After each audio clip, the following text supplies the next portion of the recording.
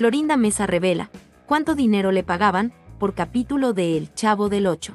Los programas creados por Roberto Gómez Bolaños tuvieron gran éxito, en especial El Chavo del Ocho y contrario a lo que muchos piensan, los actores no recibían un gran sueldo. Esto de acuerdo con declaraciones de Florinda Mesa, quien recientemente reveló cuánto dinero ganaba por cada capítulo.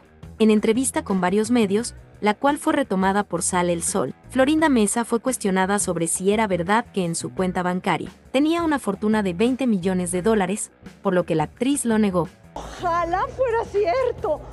No, hombre, qué bárbaro, qué tontería tan grande.